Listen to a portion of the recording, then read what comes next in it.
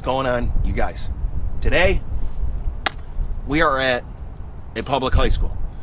And it just so happened that we got permission to fish their pond. So I'm going to be throwing a little lipless crankbait, uh, a small 316 spinnerbait, maybe a Senko. I think he's going to maybe throw a little jig. But let's see what happens. God, it's windy, it's cold, and I have no idea if I or he or any of us are going to catch anything.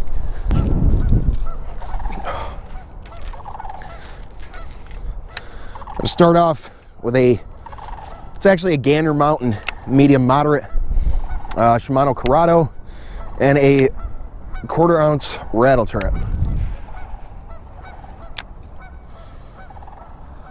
There's been times that we've came to this pond, especially over the summer, and you'll throw like a like a small eighth ounce spinner spinnerbait, and we've actually had days where we've caught like 50 to 100 fish here. But let's not get that confused. A lot of them were dinks, like really, really small fish.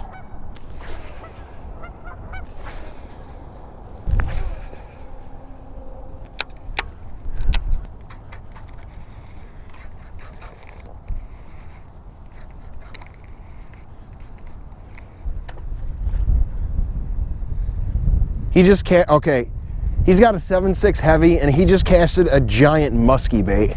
Don't ask me why. At least we're out here having fun. I mean, it's 35 degrees outside. My hands are kind of cold, but I still can't complain. Any day fishing is better than a day at work. We're off to a different spot, but look at this, look at that frog. It's frozen solid. Look at It's dead. I don't think I want to.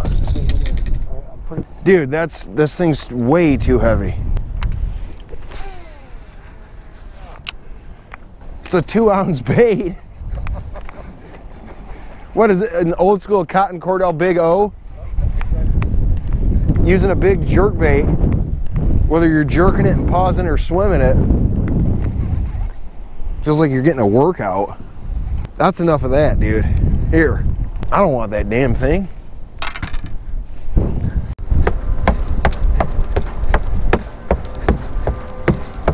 Oh, I've about had enough of not catching fish.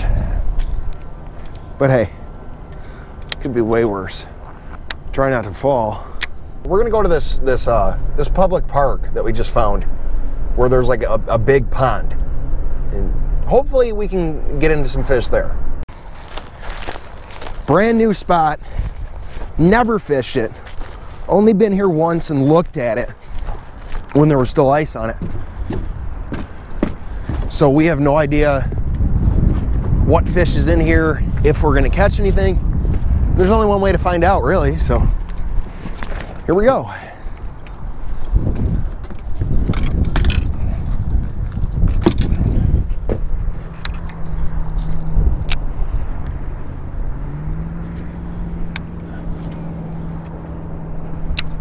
It's shallow out there, dude. Real shallow. Did you get one? What? What the what what did you catch?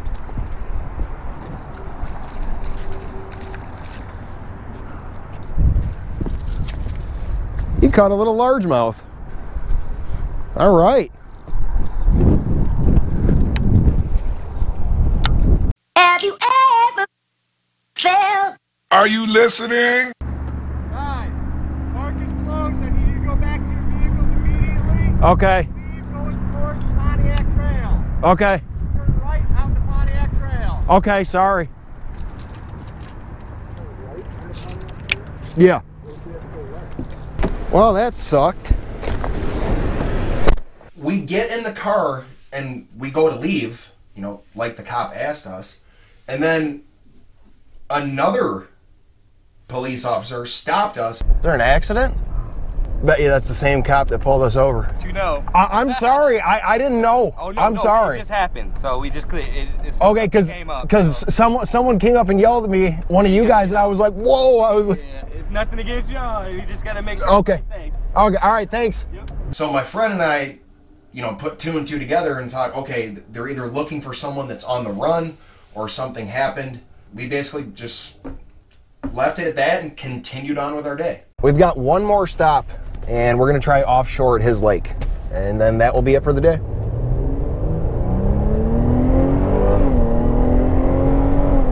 However, I will be taking the boat out trying that great big ass two ounce bait just to see what happens. All right, here we are in a last ditch effort to catch one. Might as well move this paddle boat. There's a few people out at the beach. Looks like it's two kids, a parent, and their dog. You got one? No way. On a half ounce Texas rig. No way. Cold as shit, but I figured ah, I got it tied on. What the hell? I'm gonna try it. I don't have a rod for a Texas rig either. That's crazy.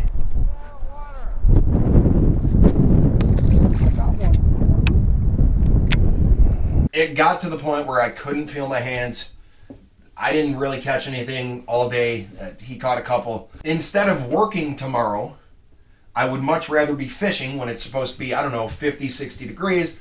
But unfortunately, I won't be able to do that. Thank you for watching this episode. Thank you for tuning into this channel.